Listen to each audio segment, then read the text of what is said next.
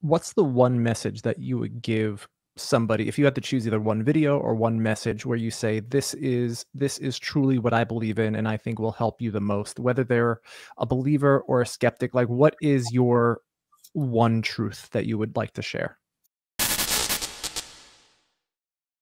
Well i think uh, i put it all together in the video the amazing earth school and I think that is something which for me. that was amazing. By the way, when you said that we're all applicants here and we should be grateful for getting into this school, that was mm-hmm eye opening. That was amazing. Well, explain that, Hans.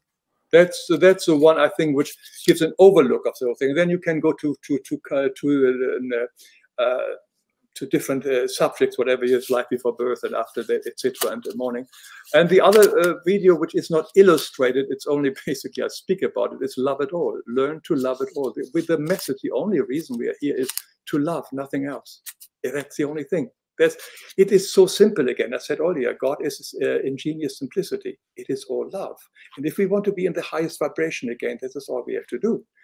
And uh, therefore, the video on Love It All is something which I find very, very important uh, to, to, remind myself every day as well of.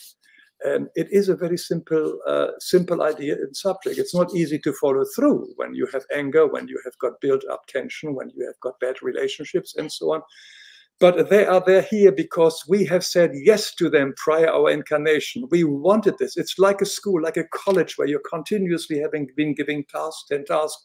And once you have done your college, you're done with it and you hopefully have grown. And that's basically what our day-to-day life is. It's it's college or kindergarten, maybe it depends on what.